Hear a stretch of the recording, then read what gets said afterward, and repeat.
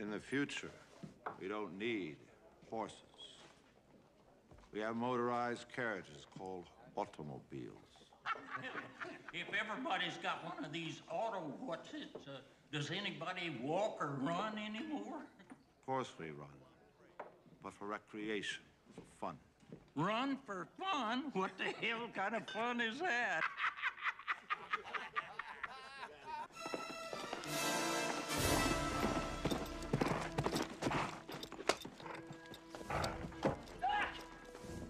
Doc!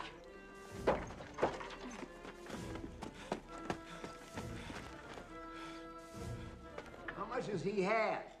None. That's the first one. He hadn't touched it yet. he just likes to hold it. Doc! Doc! What are you doing? I've lost her, Marty. There's nothing left for me here. All right, that's why you gotta come back with me. Where? Back to the future. Right. Let's get going. Great. Gentlemen, excuse me, but my friend and I have to catch a train. Here's to you, blacksmith! And to the future.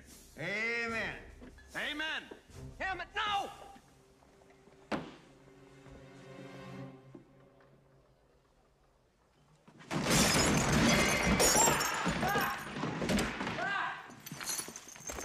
Doc. Wake up. Wake up, Doc. How many do you have? Just the one. Just the one?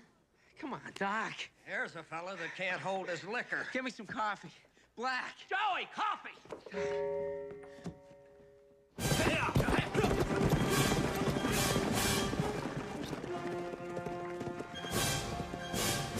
Ma'am, How far does the 8 o'clock train go? San Francisco is the end of the line.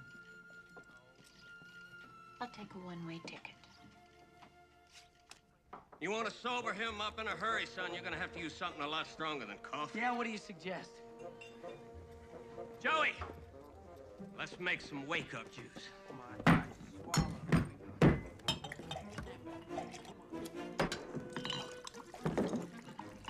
In about ten minutes, he's gonna be as sober as a priest on Sunday. Ten minutes.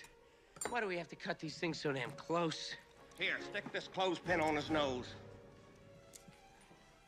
And when he opens up his mouth, go ahead and pour it on down his gullet. Oh, and stand back.